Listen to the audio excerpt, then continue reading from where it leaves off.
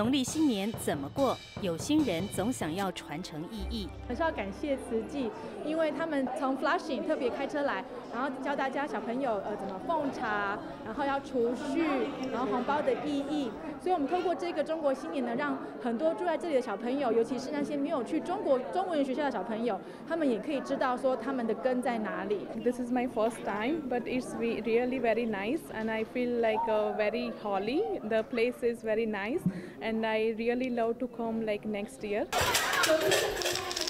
小朋友们兴奋地排排站，分享助人很大方。很多小朋友他们都会呃急着要把这个竹筒拿回来，因为他们知道这个竹筒是在救人的。送旧迎新之际，以布施行善作为新年第一件事的，还有旧金山的民众。一年一度岁末祝福，接受慈济职工邀请，来到会所团聚，同享福与会。